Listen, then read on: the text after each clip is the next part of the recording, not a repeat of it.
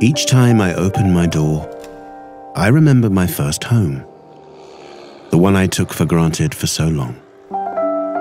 Each time I open my door, I also remember my room, where I learned that now is not forever. Each time I open my door, I realize that settling down was never a decision, but a journey. And each time, I face who I was, with whom I became.